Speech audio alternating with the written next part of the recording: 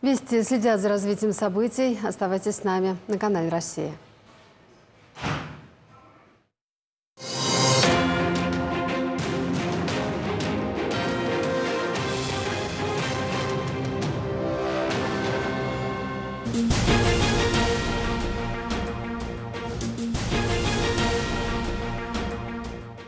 С 26 сентября по 7 декабря регион жил в ожидании руководителя области. 72 дня тормозился процесс по утверждению бюджета на ближайшие три года. Островитяне строили догадки, кто станет новым главой региона. 7 декабря пришла официальная новость из Кремля. Владимир Путин назначил Валерия Лимаренко. Представить его прилетел полпред Юрий Труднев. На Сахалин новый руководитель прилетел один, без помощников. Свое назначение называет большой честью. Валерию Лимаренко 58 лет. Он родился в Харькове, где закончил институт по специальности специальности жидкостные реактивные двигатели. С 1996 год по 2001 год он был первым заместителем председателя Саровской думы по экономике и финансам. После занимал пост министра строительства и ЖКХ Нижегородской области, а позднее заместителя губернатора этого же региона. Последние годы Валерий Лимаренко работал в госкорпорации «Росатом».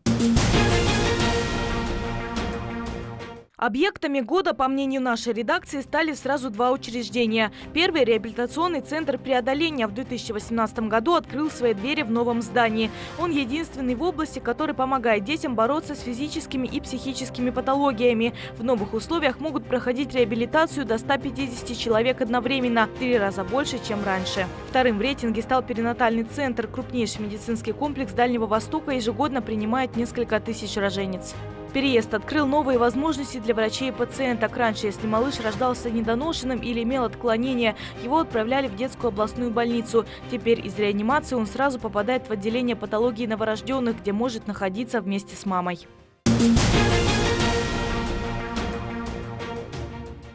Главная стройка области еще не закончена, но среди сахалинцев уже названа исторической. Новый аэровокзал Южно-Сахалинска будет рассчитан на 550 пассажиров внутренних авиалиний в час и 250 международных.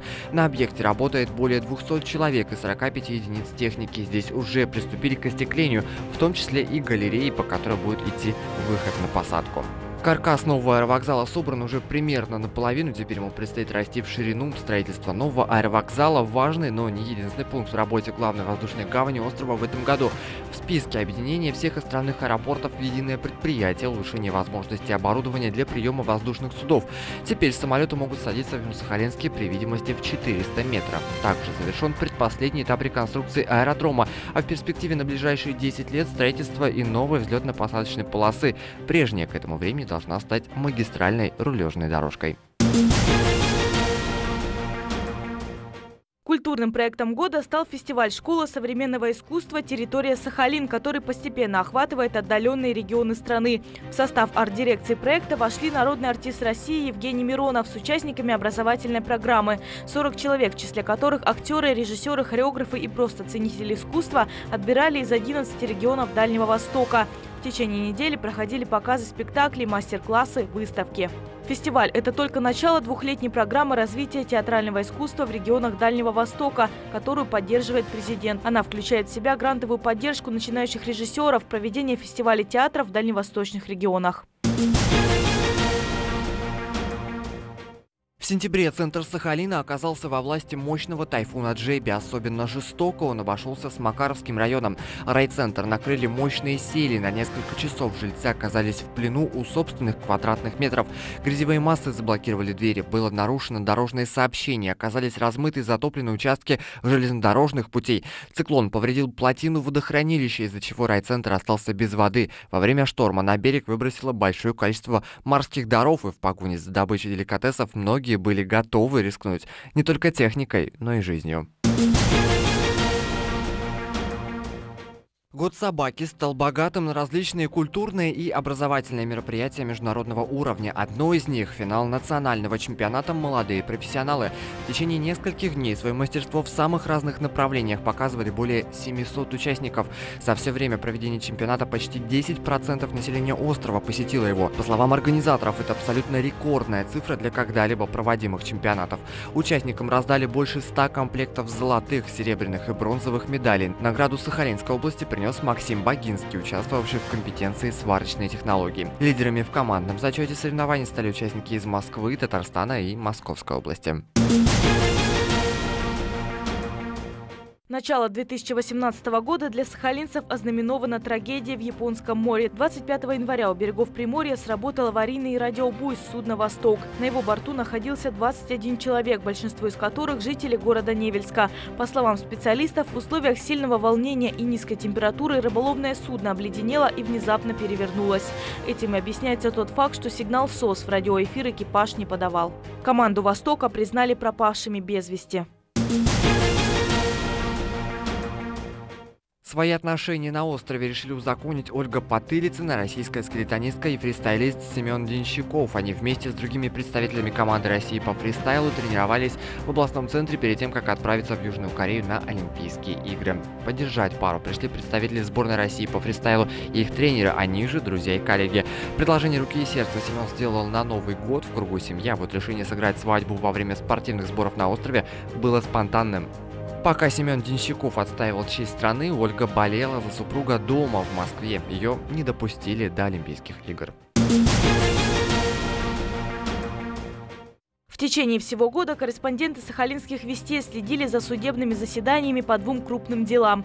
Первое – процесс по крушению траулера «Дальний Восток». Заместителю гендиректора Магеллана Алексею Васину назначили наказание в виде 6 лет и 6 месяцев колонии общего режима. 6 лет получил инспектор Росрыболовства Александр Никодименко. Начальника отдела Сахалин рыбвода Николая Харченко решено заключить на 5 лет 8 месяцев и настолько же экс-капитана судна Анатолия Борисова.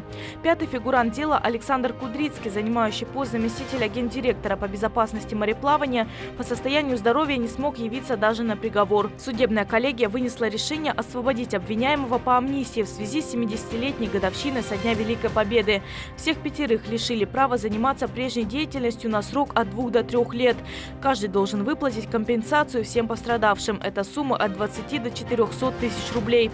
Еще один процесс по делу бывшего губернатора региона. Приговор 13 лет Хорошавину, 9 9,5 Икрамову и 8 лет Карепкину. Суд признал бывших чиновников областного правительства виновными. Экс-губернатора в 9 преступлениях. Помимо срока Александра Хорошавина приговорили к штрафу в 500 миллионов рублей. Его лишили госнаград и запретили занимать государственные должности в течение пяти лет.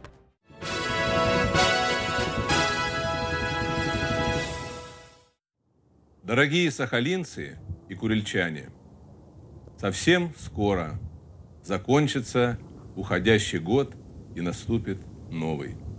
2019.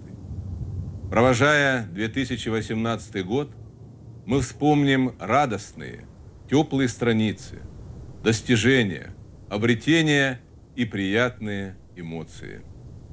Новый год мы с вами встречаем в особом настроении, ведь наш регион прекрасный и удивительный. Мы живем на передовой технологического прогресса, в центре мира, в окружении активно развивающихся стран Азиатско-Тихоокеанского региона. Считаю, что наступающий 2019 год принесет уверенность в наших силах и желание трудиться на благо области.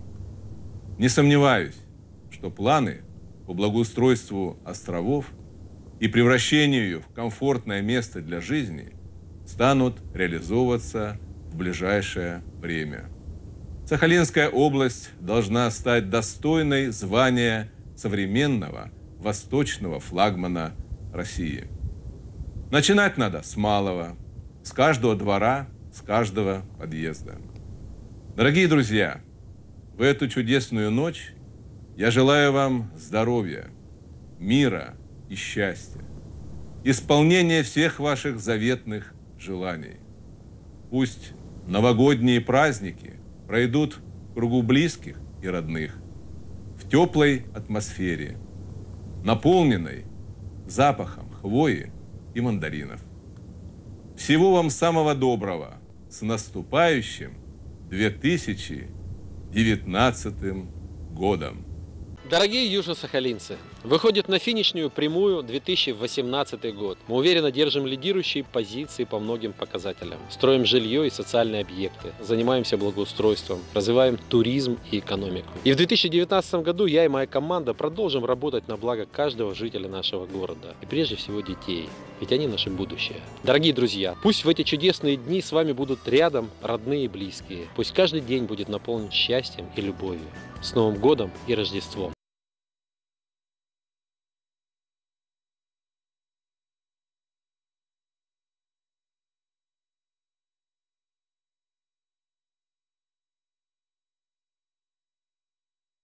Вы вести к этому часу. С вами была Оксана Куваева. До встречи в новом году.